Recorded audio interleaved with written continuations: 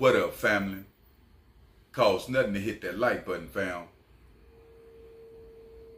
Bankroll Freddie QC Ed Dolo.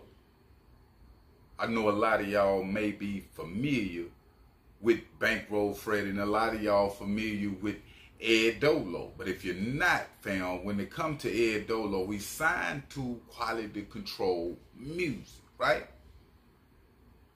Not only is he signed to Quality Control, fam, that Bankroll Freddie allowed the relationship to happen. And what I mean by that is a lot of individuals that get signed, fam, they rather sign their homeboy. They don't let the same label sign their homeboy that they own.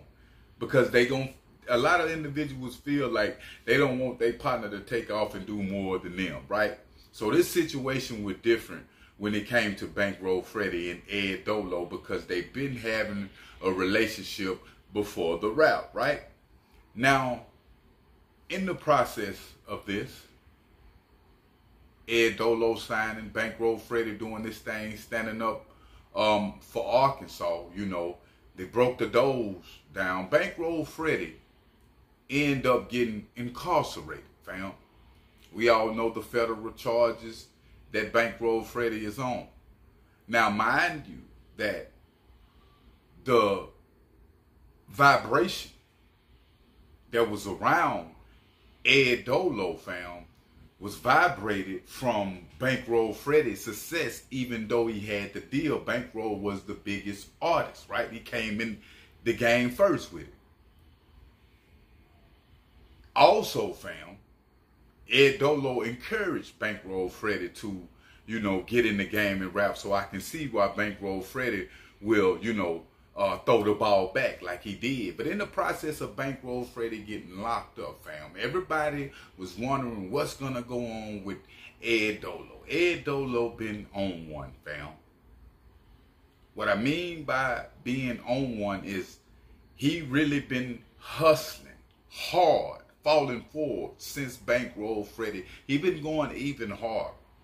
A lot of individuals, you know, just would have rolled that wave, you know, of the Bankroll Freddie aroma, you know, tried to stay up under that umbrella light.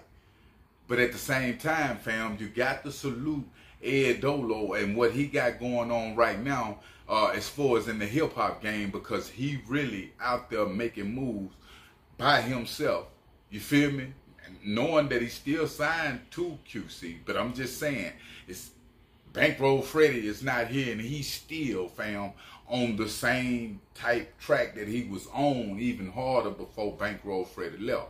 A lot of dudes, a lot of artists, fam, would have let that blow, like, blow them back for a minute. Like, is this gonna work for me? You feel me? But when it come to Ed Dolo, fam, I'm seeing that he's steadfast in what he got going and winning in this hip hop game. But I will keep y'all updated on situations, fam. But make sure you hit that like button and make sure you hit that subscribe button. I'm out.